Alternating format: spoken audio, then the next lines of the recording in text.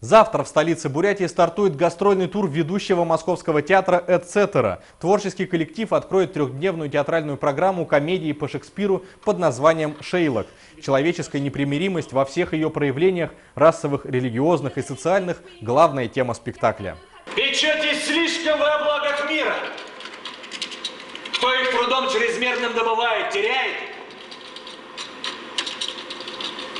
Как изменились вы?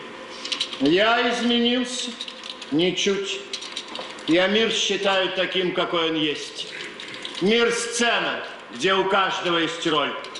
Моя грустна. Мне, к счастью, дали роль шута. Постановку осуществил один из самых известных интерпретаторов Шекспира, грузинский режиссер Роберт Стуруа. По его задумке в спектакле не будет ничего традиционного. Действие переносится в современность со всеми ее проблемами и больными вопросами. Спектакль пройдет на сцене Русского драматического театра 15 сентября в 18.30.